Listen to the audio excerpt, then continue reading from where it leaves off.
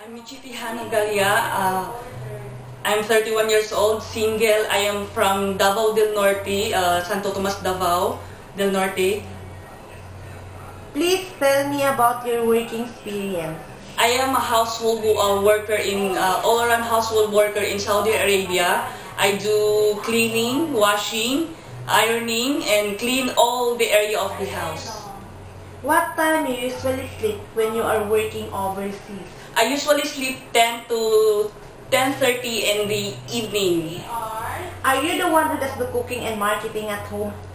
Yes, How do you describe yourself as a mother soon?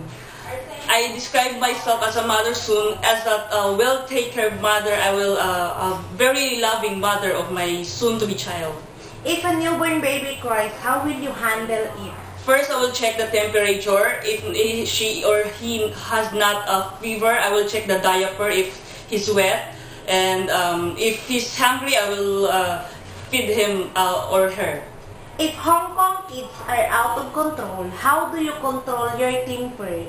Um, first, ma'am or sir, I will uh, take a deep breath and um, um, first um, uh, let them cry first and um, tell them what's wrong.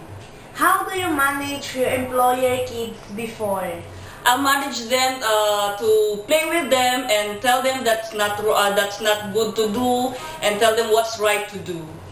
How do you describe your previous madam or employer? They are good, but uh, sometimes uh, they're just um, um, always uh, angry. But I just let them what they want. How many workers or helpers does your previous job have? We have two. If your previous job has a co-worker, what are your main duties as a helper? We blend together and we help each other. Can you sing a nursery rhyme? Yes.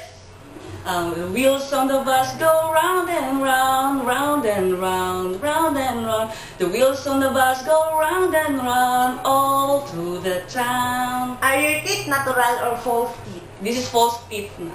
Any message to your future employer? Um, sir, madam, I hope you will like me to be, uh, to be your household worker. I can promise you that I can do all the household chores and I can listen very well from your instruction. Thank you, madam, sir.